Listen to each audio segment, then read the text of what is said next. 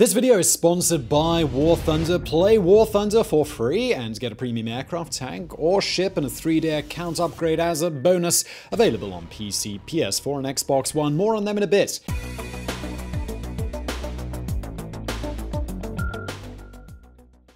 He's likely the single most successful assassin in history. When 19-year-old Gavrilo Princip fired two shots in Sarajevo on June the 28th, 1914, killing the heir to the Austrian throne, he set in motion events that would change the course of history. A South Slavic nationalist, Princip's actions would not only result in the creation of a South Slav state, Yugoslavia, but in the fall of empires and the outbreak of World War I. Forget other assassins like John Wilkes Booth or Lee Harvey Oswald. Compared to Gavrilo Princip, those guys were amateurs. Yet, how much do most of us actually know about the teenager who started World War I? Born to a poor peasant family in the desolate mountains of western Bosnia, Princip seemed destined to leave no mark on history. Sickly, small, physically weak, his life was a world away from that of the imposing, wealthy, powerful man that he killed.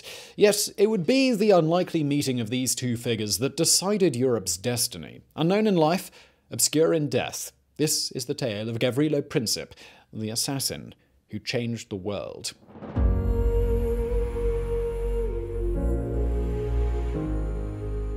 It was the summer of 1894 when Gavrilo Princip was born into a world of utter desolation. His parents' home village of Obljaj was little more than a hamlet clinging to the side of an unforgiving mountain. This was remotest Bosnia, a place of stony ground, wild rivers, and bitter nighttime frosts, a place so far from human civilization that locals knew it as Vukojebina, which translates as the place where wolves go to f it was also a place of biting poverty. The Princips lived in a small house with a dirt floor upon which Maria Princip gave birth to nine children, but only three survived. The boy's father, Peter, was a part-time mailman and full-time peasant working back-breaking hours under a feudal system that forced him to give his crops away to remote landlords. So scant were signs of civilization in this empty land that we don't even know Gavrilo Princip's date of birth. The municipal authorities recorded it as June 13, 1894, while the local authorities entered it as the month of July.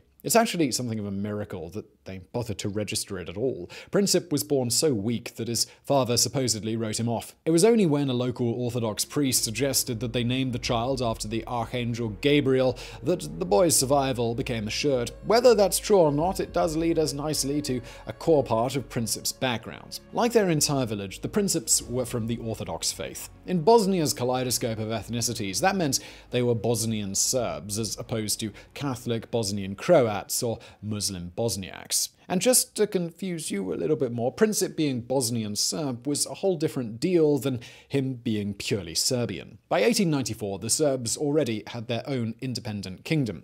The Bosnian Serbs, or any of the Bosnians for that matter, they didn't. It would be this fact, more than any other, that would turn young Princip from a peasant's son into a violent radical.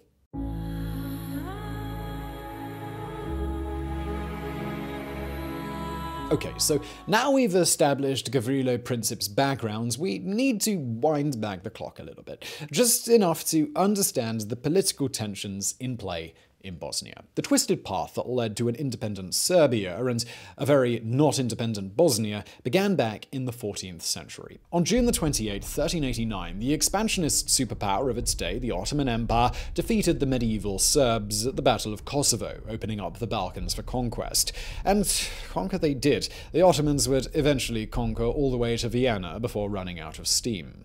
Sadly for Constantinople, all that mega conquering sent them running smack into the other superpower of the day, the Habsburgs. Rulers of Austria and longtime emperors of the Holy Roman Empire, the Habsburgs were the Ottomans' worst nightmare. Hardcore Catholics who loved a good old fashioned war. Over the next few centuries, Southeast Europe became an eternal battleground as the Habsburgs slowly pushed the Ottomans back. For Serbs still smarting over their 1389 defeat at Kosovo, this was all like, well, yay, go Austria. But while the Habsburgs spent centuries supporting anti-Ottoman Serbs, it wasn't because they were good neighbors. In the 19th century, the Ottoman Empire became known as the sick man of Europe, a state so weak the Serbs were able to gain de facto independence, though Bosnia continued to smart under Turkish rule. This change of fortunes hit its peak in 1877. That year, Serbia and Imperial Russia joined forces to give the Ottomans a gigantic kick up the backside. This effectively ended their grip on the Balkans.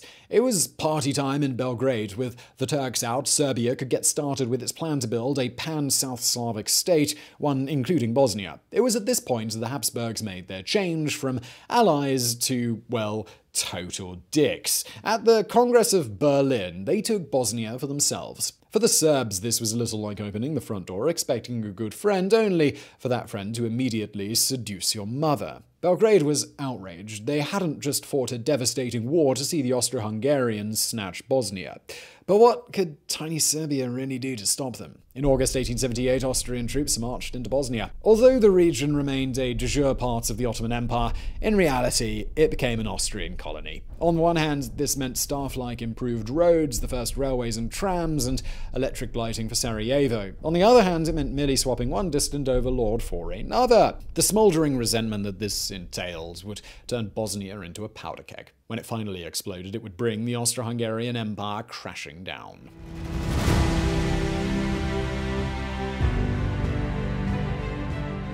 Back in the desolate mountains of Wolf-Saxland, young Gavrilo Princip was having an utterly average childhood. He helped his parents work the barren land. In his spare time, he fished for trout in the cold mountain streams.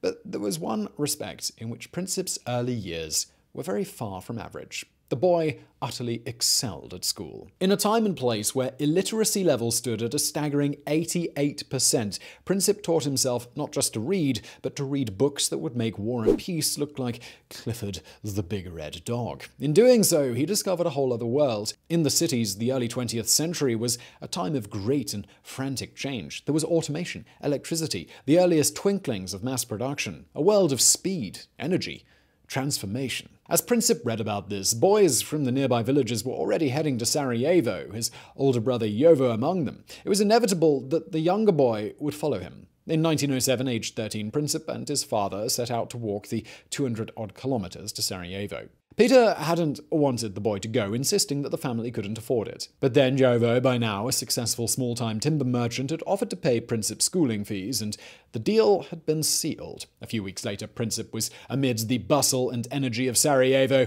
ready to start a new life. It was sheer coincidence that he arrived just as the mother of all crises erupted. While Princip had been learning to read, relations between Austria-Hungary and Serbia had been worsening. In 1903, a group of hardline nationalists had murdered Serbia's king and brought Peter Karađorđević to power. Karađorđević had severed Serbia's remaining ties with Austria and started cozying up to Vienna's rival, Russia. But while this had strained things between the two states, the big break came in 1908. That October, the Habsburgs straight up annexed Bosnia. Although Austria had de facto ruled Bosnia for 30 years, making it de jure nearly nearly sent Europe to war. Serbia was furious. In Belgrade, the move was seen as the first step towards an Austrian takeover. In the end, the crisis was resolved when Germany gave Austria its unconditional backing. The only powers capable of taking on Berlin, France and Britain, didn't care enough about Bosnia to start a war, while the one power that did care, Russia, was far too weak to tangle with Germany. So the crisis passed, at least on the world stage. But on the ground, in Serbia and Bosnia, it became a catalyst. In the wake of the annexation, the first shoots of Bosnian nationalism began to emerge. People who'd never considered the question before became champions of an independent Bosnia.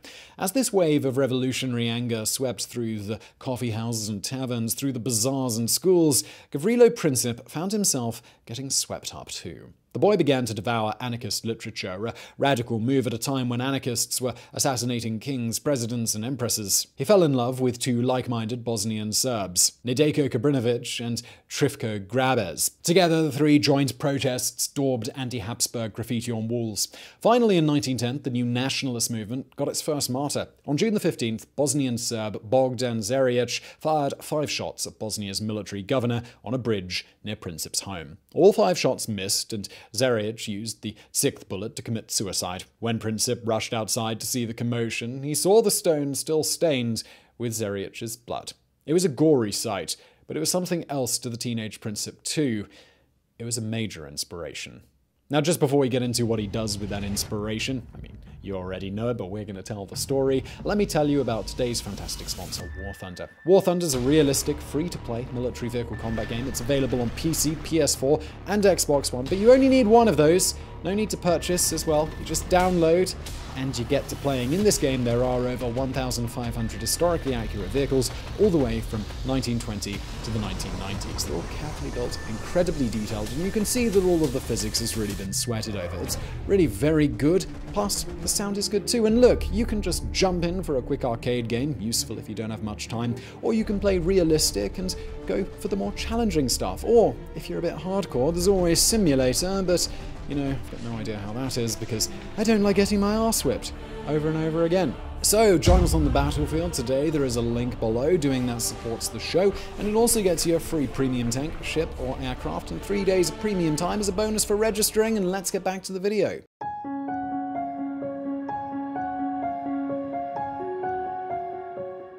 Come 1911, the general feeling of revolution had started to coalesce into specific groups. In Serbia proper, the Black Hand cropped up as a pet project of one of the 1903 regicides and current head of Serbian intelligence, a man known as Apis. Over in Bosnia, the key group was Mlada Bosna, or Young Bosnia. Possibly created with help from the Black Hands, Mlada Bosna's goal was to free Bosnia from the Habsburgs and join it in union with Serbia. Naturally, this appealed hugely to Bosnian Serbs like Princip. By now, Princip had almost given up on school. His entire mind, all his energies, were devoted to mourning the plight of Serbia and building his hatred towards Austria. In today's terms, we'd say that he'd become radicalized. Princip finally broke from regular life in 1912. That year, he was kicked out of school for attending an anti Habsburg rally, in some versions after threatening pro imperial classmates with knuckle dusters. Angry and directionless, Princip wanted to leave Sarajevo behind, to go to Serbia and help fight the good fight.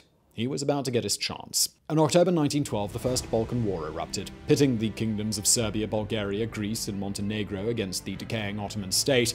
It was the best chance yet to kick the Turks out of the Balkans for good. Like a radicalized teen going to Syria, Princip dropped everything and walked the 280 kilometers to Serbia to volunteer. Supposedly, the first thing he did upon crossing the border was to fall to his knees and kiss the Serbian soil. If that tale is true, then it must have made what came next seem all the worse. Belgrade in the winter of 1912 was awash with officers trying to recruit more troops. But when Princip easily tried to join up, his tiny frame and sickly complexion got him literally laughed out of recruitment centers. And so it was that Gavrilo Princip missed his great chance to be a part of the story of Serbia. What happened next is hazy, because not much documentation exists, and historians have wildly different theories. But it's generally agreed that Princip stayed on in Belgrade, joined once again by his radicalized friends Kabrinovic and Grabez. In some versions, Princip was forced to sleep rough in doorways. In others, he was the one supporting the others via small stipends from his parents. Yet, they still had enough money to submerge themselves in the radical coffeehouse scene, a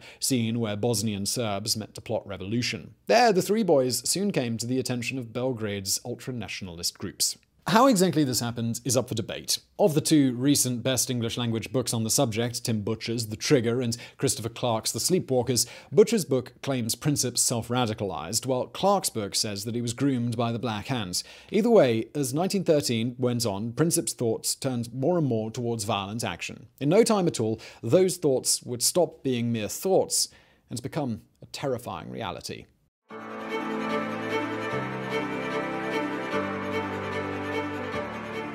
By May, the First Balkan War was going so well for Serbia that Austria started to panic. In Bosnia, the military governor declared a state of emergency, closed Serb institutions, suspended the courts, and shut the Bosnian parliament. Up in Austria proper, the army chief of staff von Hotzendorf started stomping around and demanding an invasion of Serbia. Ironically, the man who stopped this was Princip's future victim, Archduke Franz Ferdinand. Ferdinand was the biggest dove at the Viennese court, the lone voice agitating against starting a major war in the Balkans. Come summer 1913, the Ottomans had been all but driven out of the Balkans and Serbian territory majorly expanded. For Princip and his mates, this was all the evidence they needed that the impossible would soon happen, that the peninsula would soon be free of imperial powers. That winter, Princip stayed with his parents in chilly Obljaj. But when he returned to Belgrade in March, it was to news that hit him like a haymaker to the groin. All over the Serbian capital, headlines blared from newspapers Franz Ferdinand was going to visit Sarajevo that summer.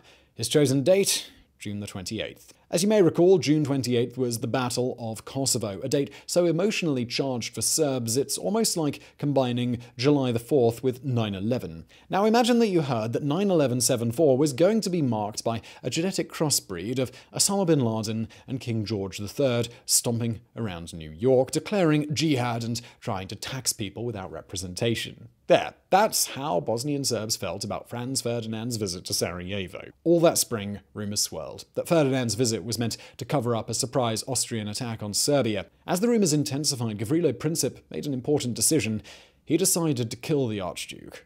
Or did he? In his magisterial book, The Sleepwalkers, Christopher Clark suggests that the plot didn't originate with Princip, but with Apis, the shadowy head of Serbian intelligence. In this telling, Apis knew the dovish Ferdinand wanted to make peace with his Balkan subjects, maybe even elevating them to co equals in his empire.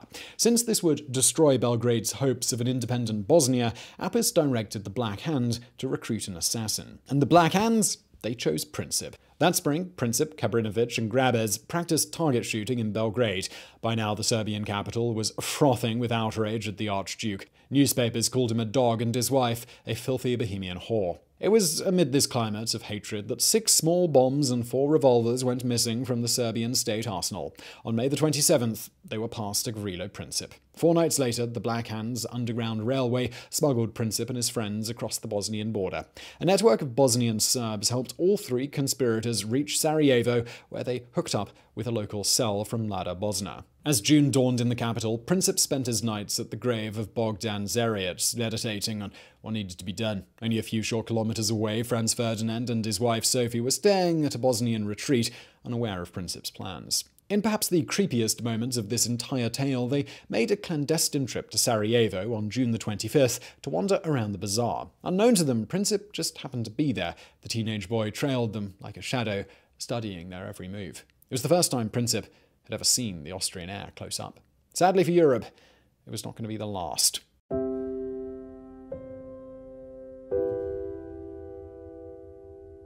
The morning of the assassination, crowds thronged alongside Sarajevo's Miljacka River, waiting for a glimpse of the royal couple. Princip and his co-conspirators spaced themselves out along the route. Each carried a weapon, a bomb or a loaded revolver. They also carried small packets of cyanide. This was to be a one-way trip, the chance to become martyrs like Bogdan Zariets. The day before had been rainy and cool with poor visibility, but as Princip took up his position that morning, it was under a bright sun. It's possible Princip wondered where all the guards were. State visits were usually accompanied by a show of military might, but today there was no security. Finally, in the distance, the boy spotted his target. Despite being the assassin everyone remembers, Princip wasn't actually the first in line. That honor fell to a young Bosniak who froze, unable to fire his revolver. Second came Princip's radical friend, Kabrinovic. Unlike the Bosniak, Kabrinovic primed his bomb and threw it in Ferdinand's car, but the driver saw it and sped up, and the bomb exploded beneath the car behind them. In a grimly humorous moment, Kabrinovic swallowed his cyanide and tried to hurl himself into the Miljacka, but the poison was so weak that it only scorched his throat, and the river was so low he simply went crashing into the bank. At this stage, the assassination was closer to Mr. Bean than a terrorist attack. By rights, Franz Ferdinand should have fled the city. Instead, Ferdinand, who'd stopped his car to tend to the wounded, saw Kabrinovic being arrested and uttered these fateful words That fellow is clearly insane. Let us proceed. Meanwhile, Gavrilo Princip had heard the bomb go off, heard the screams, and assumed the assassination had succeeded. He was running towards the commotion, a feeling of triumph already washing over him when he saw the Archduke go sailing past in his car, completely unharmed. We can only imagine what Princip thought in that moment, but we're guessing it was the Serbian's equivalent of, oh shit. But it turns out that God was smiling on the teenager that day, as Princip loitered on the corner of Franz Joseph Street, and no, the story about him stopping for a sandwich sadly isn't true. Archduke Ferdinand was in Sarajevo City Hall, demanding to be taken to see the wounded. Local officials tried to talk him out of it, but Ferdinand was adamant, so it was decided that they would change the route just in case other assassins were lurking but no one thought to tell the driver. And so it was that, instead of carrying on along the river, the car carrying Ferdinand swung onto Franz Joseph Street, right next to Gavrilo Princip. Incredibly, this wasn't the final thing they had to do wrong to seal Ferdinand's fate. Princip was so astounded to see the car return that he wouldn't have had a chance in hell of getting a shot off if the driver had just kept on driving. But someone shouted, Hey, you're going the wrong way! So the driver stopped, right there, just meters from Princip. As Princip later told it, time seemed to slow down. He tried to use his bomb, but it got caught in his coat, so instead he pulled out his revolver, ran to the car, and pointed it at the couple. According to his testimony, he locked eyes with the Archduke's security man, who blinked stupidly. Then there was a crack followed by another sharp crack. Then the car was speeding away as a crowd fell on Princip, kicking him, punching him, trying to kill him. In the middle of this melee, Princip tried to shoot himself only to feel the gun torn out of his hands. He went for a cyanide, but it was kicked away. Gavrilo Princip was very nearly lynched that morning, his life only saved when a policeman managed to arrest him. At that moment, Princip still didn't know he'd been successful. He still didn't know that one of his two bullets had passed through Franz Ferdinand's neck, severing his artery. He didn't know that the other had killed Sophie, leaving nothing of the royal couple. Shortly after 11 am, the heir to the Austrian Empire was pronounced dead. As bells began ringing across Sarajevo in mourning, it's likely Princip felt some satisfaction. He'd done the deed. The Archduke was dead. From now on, nothing would ever be the same again.